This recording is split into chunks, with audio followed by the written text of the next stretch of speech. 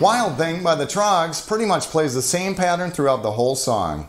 It plays an A major to a D major to a E major back to a D major.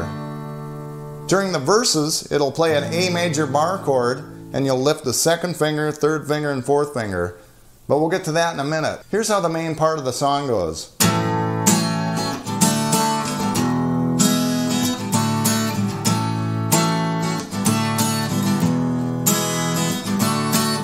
And now for the verse, you'll go to that A chord, that A bar chord you learned, and lift up your second finger, third finger, and fourth finger.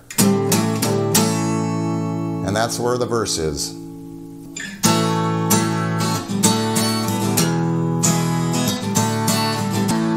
Wild Thing by the Troggs.